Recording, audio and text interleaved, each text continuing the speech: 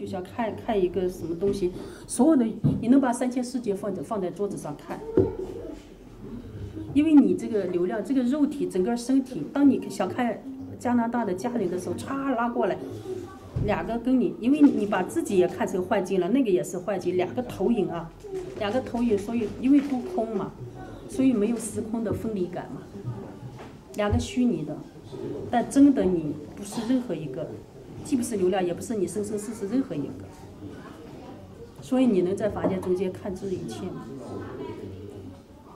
所以时间空间会消失了，时间消失了，你就不死了嘛。时间消失了，你连出生都不会有，怎么可能死亡呢？空间消失了，你怎么会分离呢？但是我们每个人就是那样的，但是我们现在活成这样了，你不想活回去吗？你不想做你自己吗？现在做了个傀儡，被一点点吸气欲望就控控在控在时空里边。而且是控到三维时空，时空一在三维呀，那是很低级的生命状态。而且在这里边纠结、纠结、纠结，浪费生命，受果报。你投胎那一天就是受果报，你不知道你怎么来的，你就执着了这里边的这个这个时空的东西，你才来的。说，哎呀，那儿有个孩子，我过去吧。就是我们活回自己了。哎呀，成佛有什么用呢？先做你。最起码你知道你是谁呀？你活了半天活别人了，你你都不知道，你爱自己都不知道自己在哪里，刹那刹那生命哪个是你啊？你说你爱自己，你说我们要做自己，实现自我价值，每分每秒你都在变啊，新陈代谢不在变吗？每个细胞都在变，念头都在变。你告诉我上一秒的你跟这一秒的你已经在变了吗？那哪一秒是你啊？你爱哪一秒的自己呀？是吧？你找不到吧？假的吧？所以爱自己的先找到那个永恒的东西嘛。你找到自己，在佛学里面把这个找到永恒的自己叫明心见性，见到本来面目，就是禅宗里面见到本来面目，见到自己本来的自己。好，然后呢，再爱自己，为自己而活，帮助他人，就是这样啊。你连自己都不知道是谁，你还怎么爱呀？爱啥？爱也不靠谱，爱爱就害了。你知道吗？有吸气欲望吗？自己难受吗？老师，按照您的这个说法啊，那佛说佛度有缘人，嗯，那成佛的这个佛是不是他来度有缘人，实际上也就度这生生世世跟他结缘的，或许就是不这种缘分，或许还是很深的，就是生生世世的父母，生生世世的孩子，生是啊生世，眷属嘛，生生世世的这个兄弟姊妹，是啊，是有这个概念，的。是啊，有，所以我们在甚至仇人所以 也是缘嘛，是你吃过的一切，今天能坐在这个地方吃，过的一切虾米，我们人世里面能接触到的 那都是缘嘛，都是缘。嗯老师坐在这里，我们可能很多事呃，都是都不是，都不是嗯简单的关系，呃，不简单。什么叫不简单？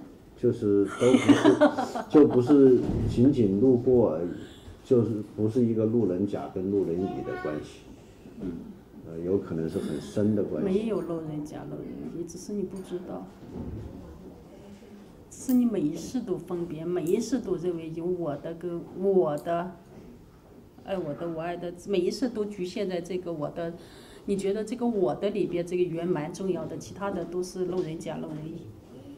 是我刚才说的话的意思，也就是说，突破这个小我，可能在座的这里的所有的人，可能都是亲人，生活里面的人都是界所有的人都是亲，比如说我跟你有关系啊，我上一世跟他有关系，比如说他又跟他上一世有关系，他又他，这穿来穿去，全世界人都有关系，是吧？嗯，这这哪个没关系？你说哪个没缘？你跟一个人有缘，就跟他周围的所有人有缘，因为跟他有缘的你都有缘了，所以要大慈大悲，就是说，你不得不大慈大悲。是啊你说你如果把自己当佛来看，本来是佛的话，那就必须大慈大悲。你要不找众生相，然后呢，你会发现这个宇宙的所有的世界，无量无边的世界，宇宙的一切，只要你分别出来，都是你的心啊。所以你要是佛的话，是你的心成佛了，所以众生都成佛了，那就叫大慈大悲。你的，因为每一位众生都是你的心，包括无缘之人。但是你只是度的时候，无缘不好度。但是无缘也在你的心的范围之内，不是说没有。那只蚂蚁也在，宇宙的一切都包含在你的心里面。你的心是无处不在的，怎么可能不在无缘那儿呢？在魔道也在无缘那儿，在哪都在那里。老鼠洞里也在，也有你的心嘛，你的心是道嘛，啊，无我的道嘛，无形无相嘛。我们一说有个心，大家就认为有个心，这个心好像有像什么东西，总会想象它像，但这个心是真空啊，无我的真空啊，所以永恒啊，没有可坏的东西，但是不是虚空啊，这个就很难理解。但是无我又不是虚空，也不是否定一切，但是我觉得最能代表这个无我的空的，拿零来表示，我觉得比较拿数学来表示啊，这个零，零是个数。但是它什么也没有，但是零是个有，它是什么代表没有，知道吧？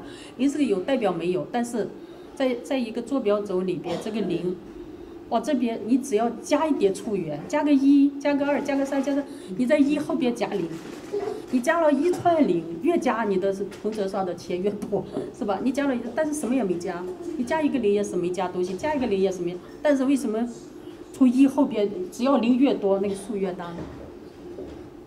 只要加一个圆，这个这个零就变成有。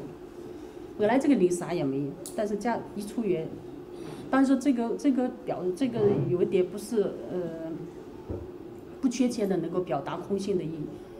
哎，空性因为你加的那个一也是个错觉，缘起是个错觉，嗯。但是这个我就是说，它这个零呢，它是个数，它是个有，但是它代表没有。比就比比如空性也是。空性是个有，但是它啥也没有，代表没有，没东西，没有你想象的任何名相、文字，什么也没有。过去的就不再想了，不管你前一世或者上一秒是什么，就这一分钟。